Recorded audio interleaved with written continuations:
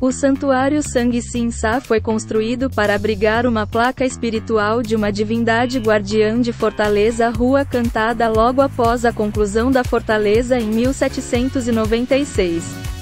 Quando a construção do castelo foi concluída, o rei Ungjo ordenou a instalação do templo Sangxin Sa e mandou construir um portão.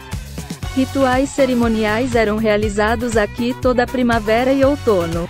O santuário Sang Sin Sa tem três salas na frente, e a frente é aberta, tornando-se uma estrutura adequada para a realização de ritos ancestrais. O santuário é composto por um espaço para preparação de alimentos e uma sala para oficiantes rituais. O santuário foi demolido no início do século XX e foi reconstruído em 2009. O antigo local do templo Sangxin Sa era difícil para restaurar a sua localização original devido ao terreno elevado. Foi construído ligeiramente a sul. Durante seu reinado, o rei Ungjo da dinastia Joseon na Coreia Palácio Temporário de Hwaseong usado como um palácio temporário. Depois de deixar o cargo, ele pretendia morar no Palácio Temporário de Hwaseong por muito tempo.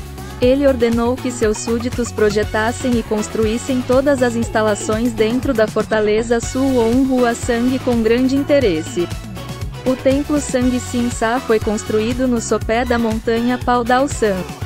Foi utilizado com a finalidade de oferecer ritos ancestrais ao Espírito Santo que protege a fortaleza Suwon Hwaseong. Ao realizar os ritos ancestrais ao Espírito Santo da montanha San, a montanha mais alta de Suwon. Rei Ung-jo tentou considerar Fortaleza de Suwon Hua Sang como local sagrado.